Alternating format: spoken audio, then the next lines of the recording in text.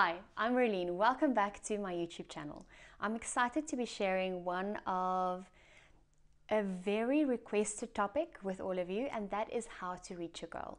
I thought of putting a little twist in it, and I'm going to show you how I reach a goal in seven days. And hopefully, you'll be able to use some of these bits and pieces to reach one of your valuable goals in the next seven days. So, when it comes to reaching a goal, I always believe and I always remember what Stephen Covey said, the guy who wrote, who wrote um, Seven Habits of Highly Effective People, and he says to start with the end in mind. So, when it comes to reaching goals, I believe that the reaching of goals happen twice first in your mind and then in reality. So it's so important to be able to visualize this goal that you want to reach. But before we can visualize this goal, we have to know that it is actually the right goal. So let me show you what I usually do. And I always start very, very broad.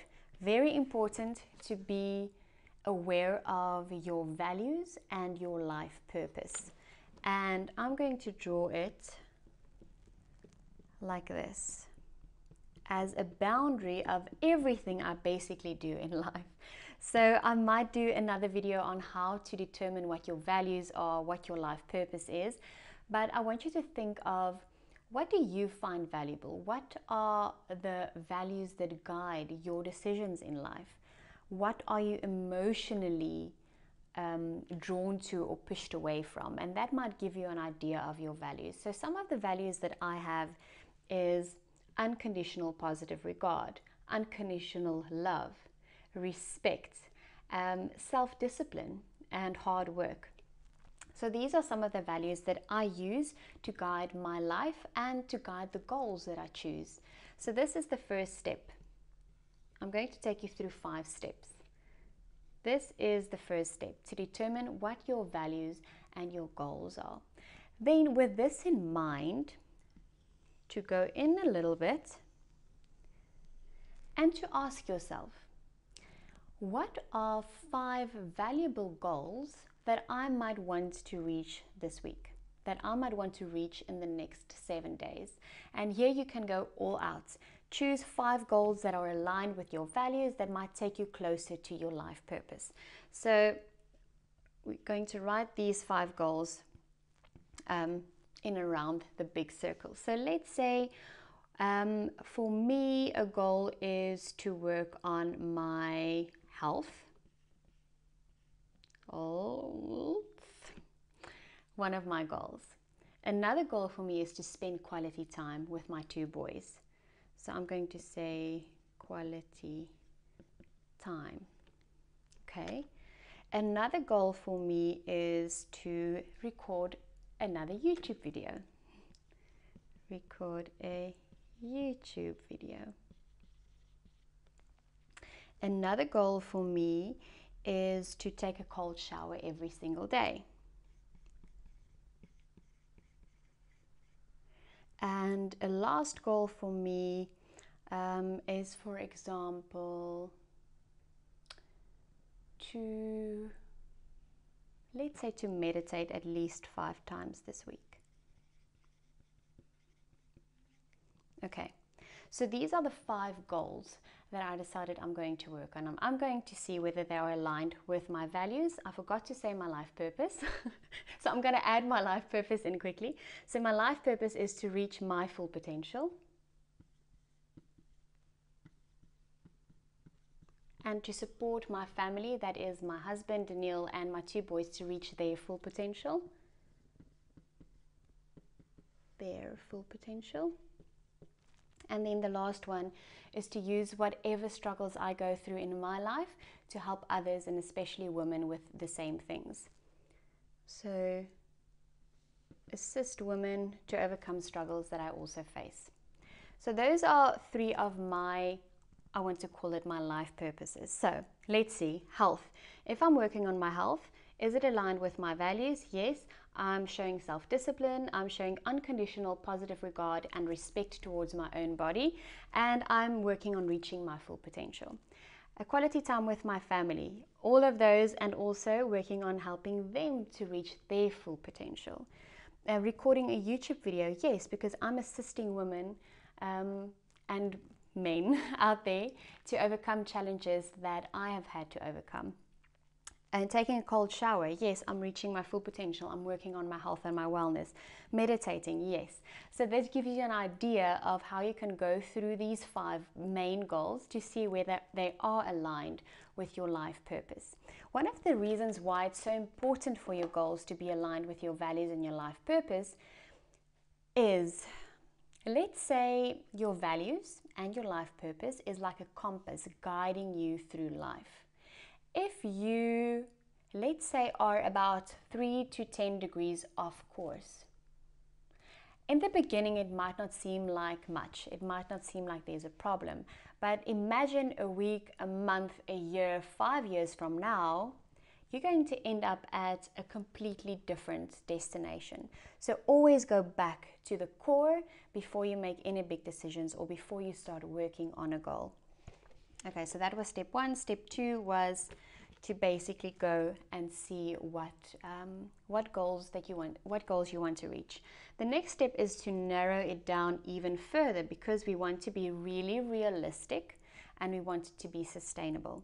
So then you're going to go into your goals and going, you're going to um, list each goal here one, two, three, four, five and narrow it down by checking these five points. So, is this goal realistic?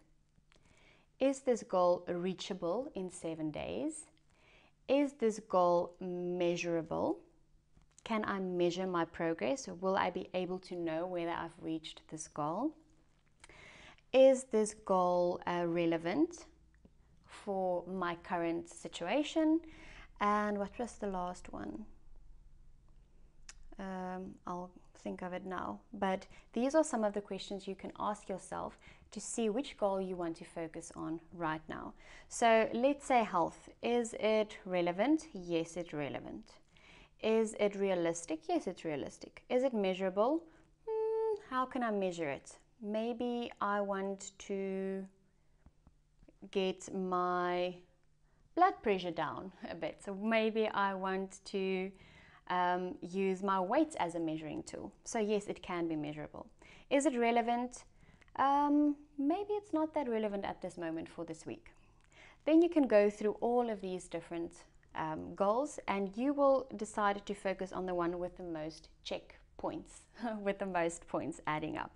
So that is step three, narrowing it down to a goal that is realistic, that is relevant, that is measurable, and that is specific. That was the other one, specific.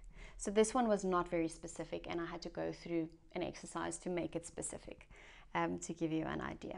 So the fourth step is now to go and brainstorm. So this is the fun part. Sorry, this is the fun part. And this is where you really want to prepare yourself for quality thinking. I believe that everything we do in life depend on the quality of thinking we do first. So what I like to do, and I know this is going to look extremely silly, but what I like to do is do a breathing exercise before I dig deep and brainstorm um, ways to actually reach this goal. So let's say I'm going to record my YouTube video this week. So, how am I going to do that? various different ways, but I want to prepare my body and my mind to do some quality, quality thinking. So I like to do this breathing exercise. It's something that I've learned in an online course from Emily Fletcher with regards to meditation. So she teaches you to actually breathe in such a way that you activate your left and your right brain to engage one another and to be able to be more alert, more awake. So I take my two fingers, actually these two fingers, and I breathe in through my left nostril, out through my right, in through my right, out through my left.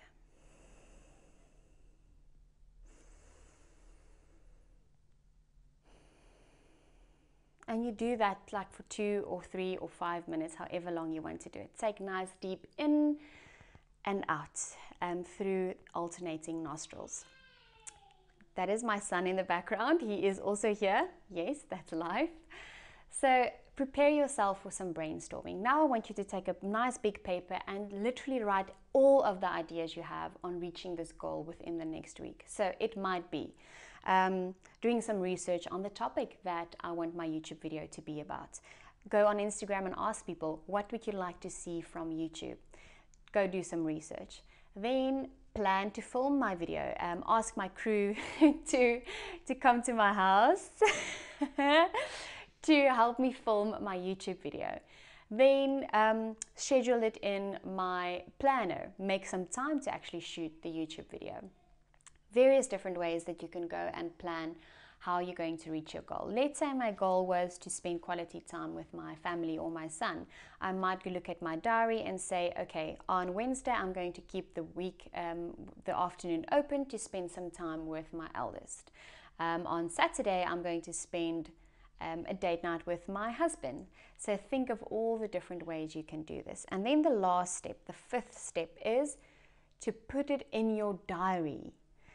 If I have a to do list and it's not in my diary, it's not going to get done. So I literally take my phone, I go onto my calendar, and I set out times whether it is for taking a cold shower, whether it is for making a YouTube video, whether it is to reply to that email. I've literally put everything in my diary. So, those are the five steps that I use to reach a goal in seven days. Always remember to go back after the seven days just to see have I reached my goal, haven't I reached my goal. Um, always also remember to decide how you're going to measure this this goal. Um, how am I going to know whether I've recorded my YouTube video? It's actually going to be on my phone. How am I going to know that I spend quality time with my kids? Um, I might see an improvement in my relationship, or I might see um, a change in behavior. So, how are you going to measure it? And then make sure that you improve on the tactics you decided to use if it didn't work for you at that stage. I really hope you enjoyed this video on reaching a goal in seven days. Please let me know your feedback and let me know what you want to reach in the next seven days.